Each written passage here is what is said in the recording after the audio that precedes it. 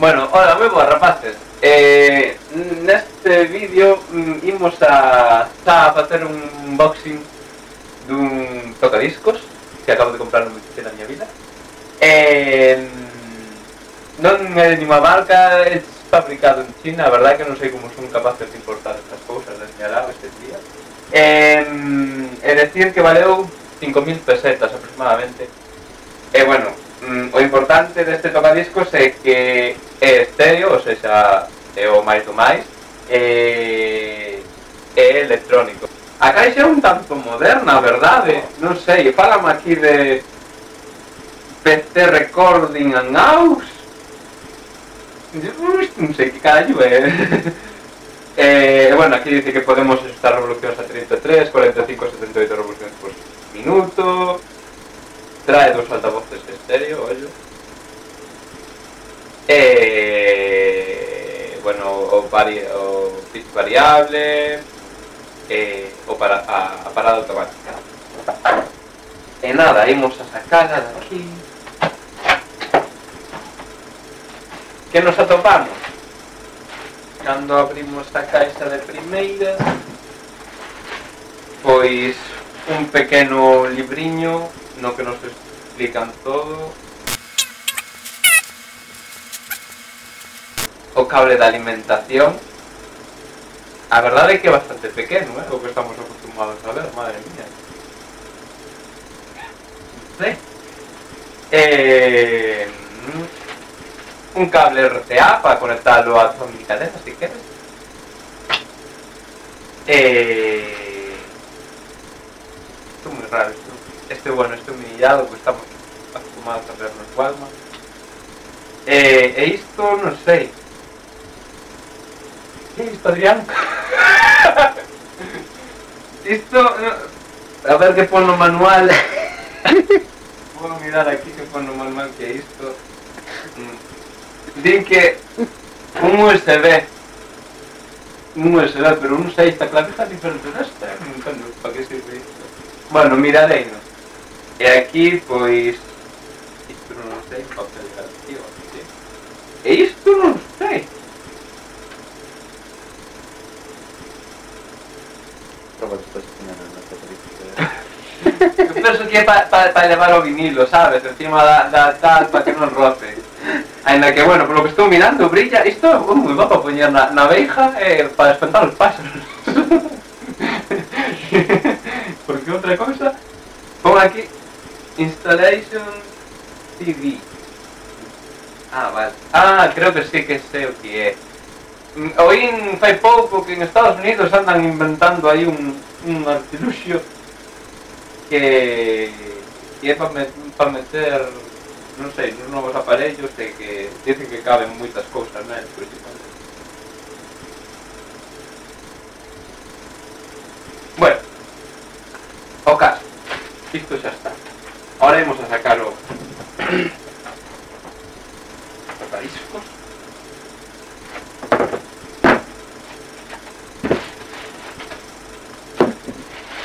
Moita trapallada traen. Bueno, isto toca discos así. A, eh, eh, a tapa levantas así. Mm, aquí temos o plato. A... Bueno, e aquí temos o, o brazo coa agulliña. Eh, Pues, en esta palanca de aquí podemos descubrir. En los laterales un altavoz de otro altavoz. Frontal. O aclavice para o jack o pitch. Aquí para variar a velocidades. Mm, botón de encendido ten. en sentido normal e automático o automático levanta as agullas e se pon a estirar e a velocidade de 33, 45 e 78 revolucións por aquí ajustamos o tono e aquí o volumen que temos por atrás? pois nada o da alimentación e os dous RCAs para poder sacar o son. É un auxiliar de entrada pois por si queres conectarte o teu Walkman así, aquí eh, e escutarlo polos altavoces. Está moi ben isto eh, e esta é a, a tal USB teño aquí o último vinilo que sacaron os nosos compañeros da Roda remataron de gravarlo bueno, entre 25 e 30 de, do outono na xa que me sei, 1937 o sea, este eh, de outono pasado.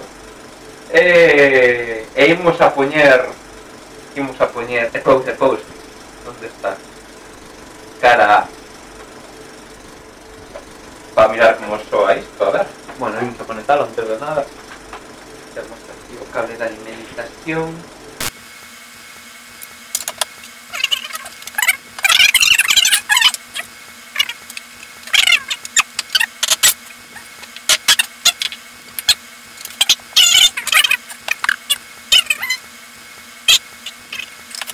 Eh, ponémoslo en home, levantamos. Eh, soltamos los...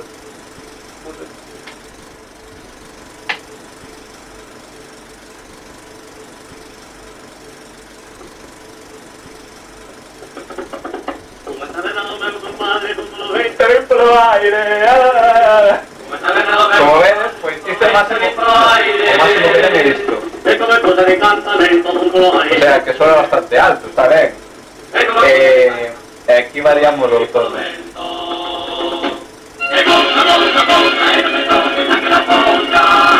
aquí o.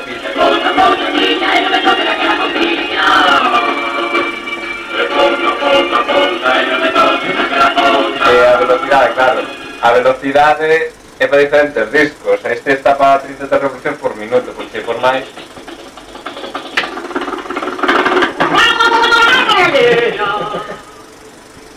bueno, o caso.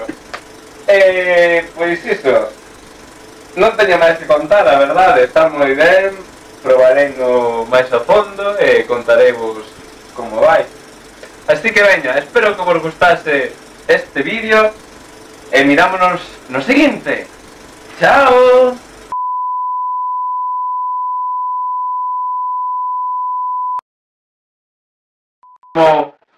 Último disco que sacaron disco sí. Mierda. ¡Guiada!